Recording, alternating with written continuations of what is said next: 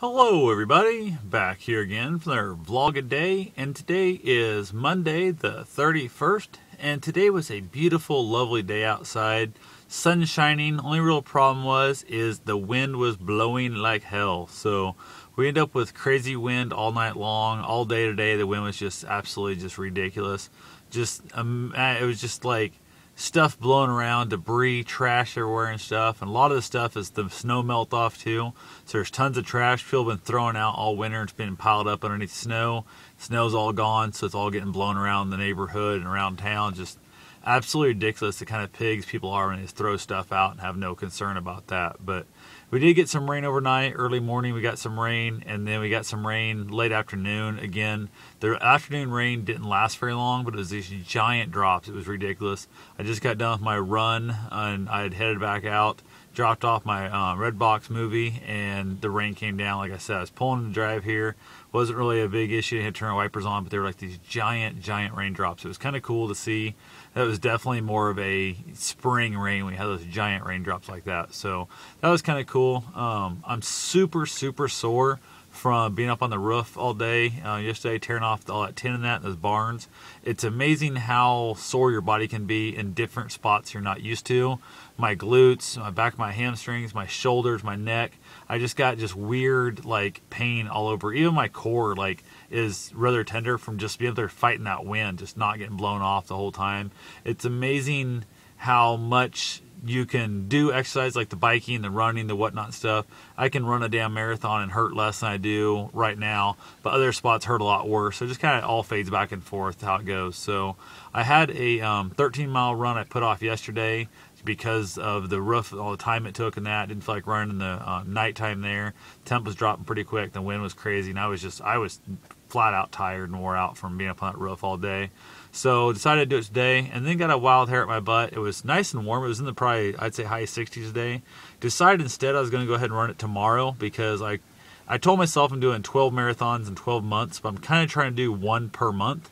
And tomorrow's the first month. Today's the end of the month. Instead of doing two this month, I went ahead and thought, one, I'll give my body an extra day to heal up, which I'm not sure if that helped. I think I'm sore now than I was when I got this morning but who knows? We'll see what tomorrow brings. But I decided if I do it tomorrow, um, one, it's going to be a little cooler. That's going to kind of suck. It's going to be 32 degrees, what uh, MSN weather's calling for at the time. I'm hoping to start running. Uh, I'm supposed to move up to 40, 42, something like that. So it won't be too bad. It's a lot better than the 7 degrees I've ran a marathon in. But that's that weird temperature where you don't know what layers to wear to wear and take with you and stuff. So I'm taking quite a bit of extra clothing in case I need to change and stuff mid run shed off some stuff, that kind of thing. I'm going to layer up. Hopefully, it all works out for the best. Uh, I'm going to take the dog with me.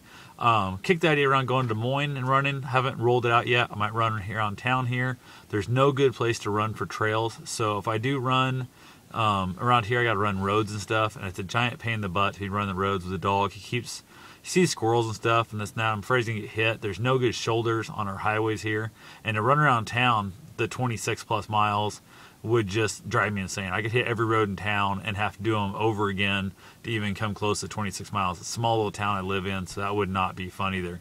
Might do an out and back, you know, might run out to the lake and do a loop around the lake, something like that. I have to look at it and kind of see. But I also need to get oil changed in the van. I've got a Groupon for that. So if I make it to Des Moines, I can hit that. I got some Groupons for some food, pick myself up some food and all that good stuff. So who knows um, exactly what's going to happen there. But I'll know more about that in the morning. Um, don't really know. Uh, it's just depends on how I feel in the morning. I was kind of thinking I didn't really want to waste the gas money up there and stuff. I got pulled over today while pumping gas in my van. Deputy sheriff, being a dick, pulls up and he apparently, I guess my plates, I forgot to register them in December, which I don't know how in the hell that happened. to register my trailers, my motorcycle, my other cars. I have no idea how the van didn't get registered, but it didn't. Uh, he was like a real dick. He's like, well, I got to give you a ticket because I give everybody else tickets. And I'm like, um, that's bullshit. You know, you let people off tickets all the time. Everybody does it.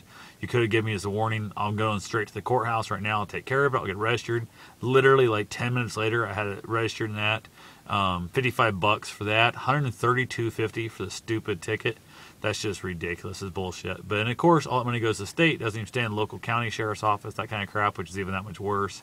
And it's just the hassle factor of it all. He's like, "Well, I could have towed it. I could have whatever." I'm like, "Dude, go ahead and tow it. I give a shit less." I said, "I'm gonna By the time you get a tow truck here, I'll run to the courthouse, I'll pay the damn registration fee, and I'll come back, and I'll drive the hell out of here if the tow truck even gets here. So if that's what you think you want to do, knock yourself out, man. Have fun with it. So he was kind of being a dick. I was kind of being a dick a little bit to him. Just the whole concept of, you know, I have to give you a ticket because this. I'm like, no, you don't. People get let off on tickets constantly. You told me how you believed. I didn't know it. I wasn't being shady. I was being honest with it. I truly was surprised. Yada yada, whatever. And I'm like, just kind of go fuck yourself is how I felt. But then I went ahead and said I'm gonna pay the ticket. And he goes, you can't pay it till tomorrow. You have he the break he gave me is he gave me till the 21st to pay it. Like it matters. It's supposed to be paid in two weeks. He gave me a third week extra there to go ahead and pay it. I'm like, I'm gonna be at the courthouse in five minutes paying for my registration. I'm gonna pay the ticket. And he goes, Oh no, you can't. Not till my copy gets there. I'm like, I don't need your copy. I've got my copy and uh, stuff. I can drop it off. he's like, Oh no, no, you have to have this copy as hell. And I'm like, No, I'm just gonna go pay it right now. So if I can't pay it today when I'm there, I probably won't pay it at all. I'll let you put out a warrant for me. And he kind of gave me a weird look walked across the hall from where I put the registration, walked in and said, I just got a ticket like literally 15 minutes ago, and can I pay this? And she's like, Yeah, we don't care. And I'm like, He keeps telling me I can't until he gets his copy in. She goes, We got everything we need on your copy. Give a shit less about his copy. So it took her an extra three minutes to look it up on the computer because she had to pull it up. They didn't have her, that copy there from the, sh- the deputy sheriff. So that all went fine. I was glad to have that over with. Also went ahead and got my registration sticker for my dirt bike so I can ride it legally out the lake and that kind of thing with Bussy. So I got that stuff done too. So spent like 300 bucks in fines, fees, tags, number plates, all that kind of crap today.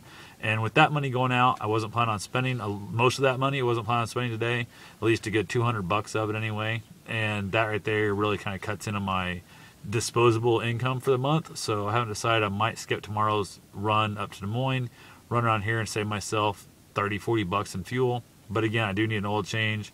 I need to get my food Groupons used up and that kind of stuff. And the trails in Des Moines are just so damn much nicer.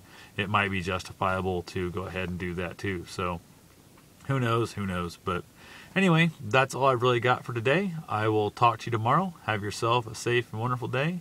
Thanks for watching.